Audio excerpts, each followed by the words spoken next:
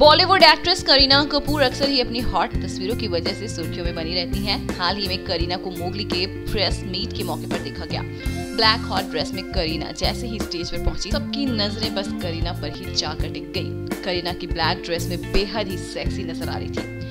करीना ने Mowgli film के Hindi version में अपनी आवाज़ दी है। इस फ़िल्म में करीना के अलावा अनिल कपूर माधुरी दीक्षित और अभिषेक बच्चन ने भी, कैरेक्टर्स को अपनी आवाज़ दी है। ये फ़िल्म नेटफ्लिक्स पर 7 दिसंबर से रिलीज़ होने वाली है। बॉलीवुड की अपडेट्स और गॉसिप न्यूज़ के लिए माया पूरी कट सब्सक्राइब करना ना भूलें। और हमारे अपडेट्स जानने के लिए बेलाइकन ज़रूर प्रेस करें।